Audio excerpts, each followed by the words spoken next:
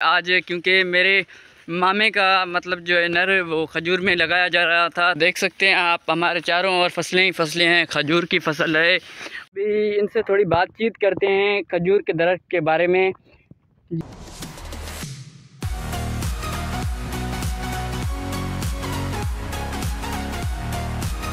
जैसे कि मैं परसों भी यहाँ आया हुआ था और मुझे चारा नहीं मिला था, कल आया था, कल मिला हुआ था तो कल शायद कुछ चीज़ें हमारी रह गई थी और आज मैं फिर से यहाँ आया हुआ हूँ तो चलते हैं, आज हम देखते हैं। जैसा कि मैं व्लॉग शूट करने खेतों में जा ही रहा था तो इतने में मुझे अपने मामू जान, अपने प्राइवेट जेट यानी बाइक से लौटते हुए देखे तो मैंने उनसे नर के एड्रेस के बारे में पूछा। इतने में उन्होंने एड्रेस के साथ साथ मुझे लिफ्ट भी ऑफ़र की तो मैंने कहा, नेकी और पूछ पूछ यूँ हम अपनी खेतों की तरफ़ जा ही रहे थे तो बीच बीच में बहुत सारे हसीन और प्यारे नज़ारे आते गए। फिर देखते ही देखते हम अपनी मंजिल पे पहुँच गए। जो बाइक के दो राइडर्स थे वो ही बाइक पे अंदर जा सकते थे बाकी दो बंदे पैदल जा सकते थे। एक मैं और एक चाड़ा पैदल गए बाकी एक चाड़ा और एक मेरे मामू जान बाइक पे गए। अच्छा। पहले तो आपने देखा हम दो से तीन मील यहाँ पे बाइक पे आए हैं और आगे जैसे कि छोटा सा रास्ता है जैसे हम यहाँ पे बन्नी बोलते हैं और ये रास्ता सिर्फ़ चलने के लिए ही होता है और यहाँ पे इतना कि यहाँ पे चलने में भी थोड़ी बहुत तकलीफ़ होती है। देख सकते हैं आप, हमारे चारों ओर फ़सलें ही फ़सलें हैं, खजूर की फ़सल है और यहाँ पे गंदम की फ़सल है। सामने भी एक और फ़सल है आई थिंक भैंसों का चारा है, बरसिंग। दिखाता हूँ आपको। ये देखें सामने ये बरसिंग है। ये मतलब भैंसों का चारा होता है। इनकी अलग से वीडियो भी बनाऊँगा ब्लॉग बनाऊँगा, इनके ऊपर दिखाऊँगा मैं आपको वो भी। ये देखें, काफ़ी डिफ़िकल्ट रास्ता था, चलने में दिक्कत हो रही थी। हमने रिकॉर्ड किया आपके, आपको दिखाने के लिए। और ये यहाँ से ऐसे चढ़ जाते हैं। पर वो हमारे मामा जान बहुत आगे निकल चुके हैं और उनके पीछे एक चाड़ा है जो कि खजूर पे चढ़ेगा। और उनके दोनों हाथों में नर हैं। नर यानी खजूर के बीज हैं। ये हमारे चाड़े हैं जो खजूर के दरख्त पे चढ़ेंगे, देखें। इनके कंधे पे, इनके हाथ में ये रस्सियाँ हैं, इन्हीं रस्सियों की मदद से ये ऊपर इन बड़े बड़े खजूरों के दरख्तों पे चढ़ेंगे और आपको वो भी दिखाएँगे, आपको पूरा कवर करवाएँगे। ये नर खोल रहे हैं और ये हमारा नर खजूर के बीज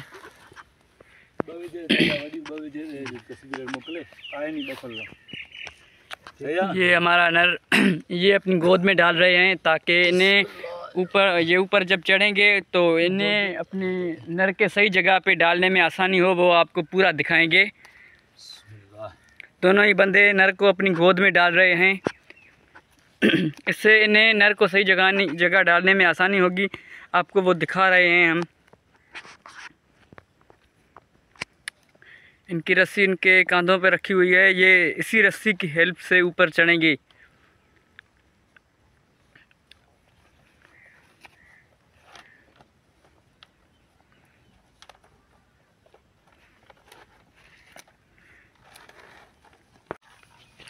उर्दू में बताते जाना आप। ये देखें ये रस्सी इन्होंने कैसे खजूर में बांधी है और इसी रस्सी की हेल्प से ये ऊपर जाएँगे चढ़ेंगे और हमें सारा कुछ बताएँगे जो भी करेंगे।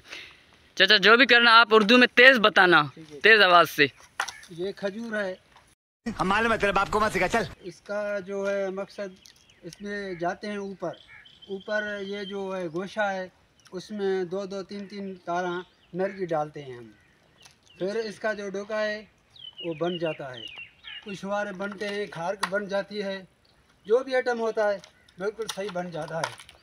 अभी ये कम से कम खजी इतनी बड़ी है पचास पचास चालीस पचास चालीस से पचास फीट की होगी। फुट की होगी। ये इसके डालेंगे हम बिल्कुल सही हो जाएगा काम। मैं इतनी बड़ी इतनी लंबी खजूर है मुझे भी नीचे बैठना पड़ेगा मेरे हाथ थक जाएँगे।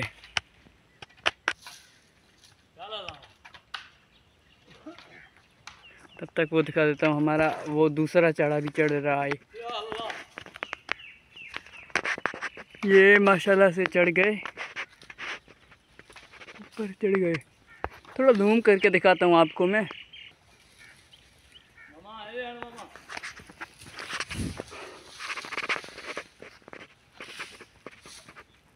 आई थिंक मेरी कैमरा ओवर हीट कर रही है तो मुझे वीडियो ये वीडियो यहीं पे स्टॉप करना पड़ेगा। कंट्रोल तो माजर चाहूँगा मैं इसके लिए। ये देखें ये अपनी रस्सी बाँध रहे हैं। इन्होंने रस्सी कुछ अपनी टेक्निक से बांधी। और ये देखें ये भाई साहब कैसे ऊपर चढ़ रहे हैं चढ़ रहे हैं। ये वाली छोटी छोटे खज, ये वाला खजूर का दरख्त छोटा है कुछ। इसकी हाइट तकरीबन अप्रोक्सीमेटली 20 फीट होगी।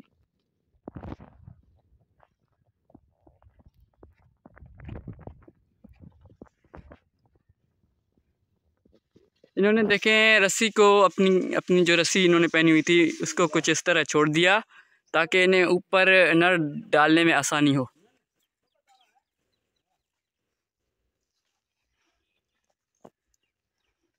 एक गोशा में कितने दाने दाने डालते हो? नीचे वाले में दो ऊपर वाले में तीन। अच्छा। हाँ अच्छा मतलब दो लेयर्स होते हैं नीचे वाले में दो ऊपर में तीन। हाँ तो बड़ा बड़ा छोटे का हिसाब है। हाँ डिपेंड करता है नर की एज कितनी है। उम्र कितनी है नर की इस पे डिपेंड कर ये है। जो अपनी उम्र से बढ़ जाता है ज़्यादा उम्र का हो जाता है उसमें कभी कभार चार भी डालते हैं। बन जाता है जो।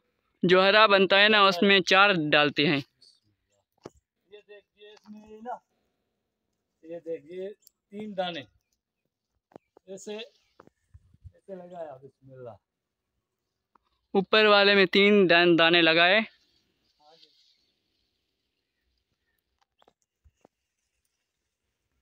बीच में इधर से इधर रखने। इसका वास इसमें लग जाएगा ना भाईजान?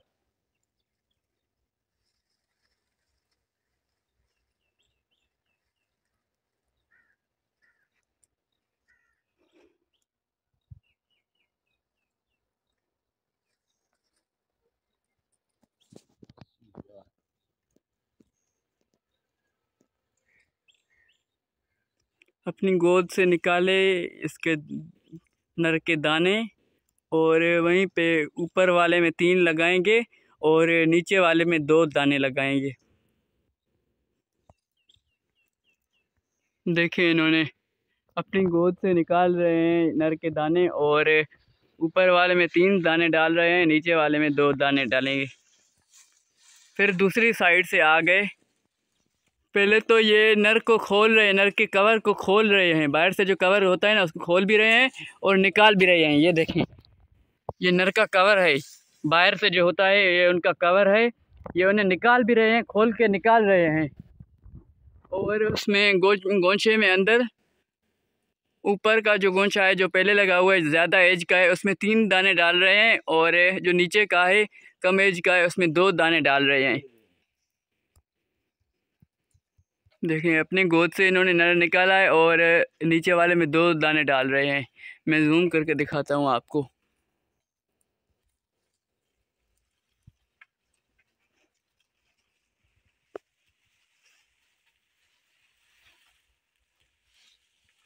फिर सेम काम दूसरी साइड से करेंगे ये। ये पूरी हो गई। पूरी हो गई ये खजूर पूरा हो गया। उस साइड से नहीं लगाया? लगाया दो लगाया? हाँ। दोनों से?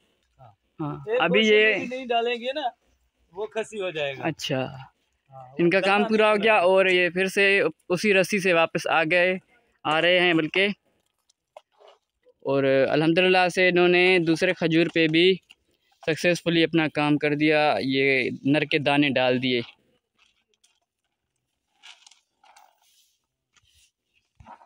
भी इनसे थोड़ी बातचीत करते हैं खजूर के दरख्त के बारे में।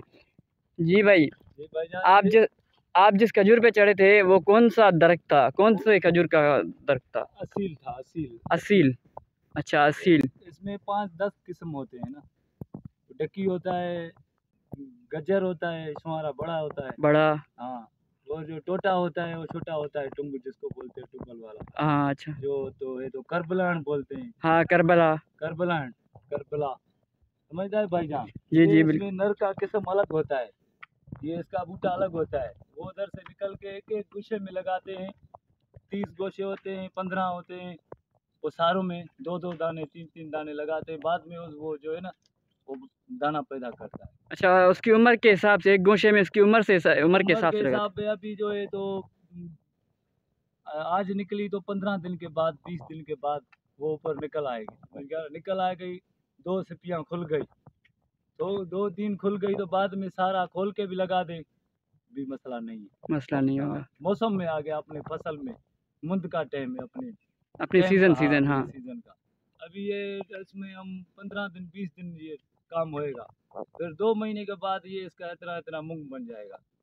तो ये दो महीने के बाद वो गोशा भर जाएगा अच्छा ये कह रहे हैं कि दो मई महीने दो माह के बाद ये जो दाने थे ऊपर ये हरी मुंगेरी बन जाएगी। हमारे यहाँ सिंधी में इसे हरी मुंगेरी कहते हैं। हरे कलर की होती है तो उसे हम मुंगेरी बोलते हैं। जी उसके बाद कितना टाइम लेगी? उसके बाद जो है ना तो तीन महीने साढ़े तीन महीने तीन साढ़े बड़ा हो जाएगा तीन साढ़े तीन महीने और लेंगे और खजूर बन जाएँगे। जी के थैंक यू शुक्रिया आपके इन्फॉर्मेशन का। मेहरबान। तो गाइस जैसा कि आपने आज देखा, आप, आज हमने ब्लॉग भी इसी इसी चीज़ के लिए बनाया। तो अगर आपकी कोई चीज़ कवर नहीं हुई तो कमेंट में ज़रूर लिख देना और आज के ब्लॉग के लिए सब्सक्राइब तो बनता है guys thank you for watching my full vlog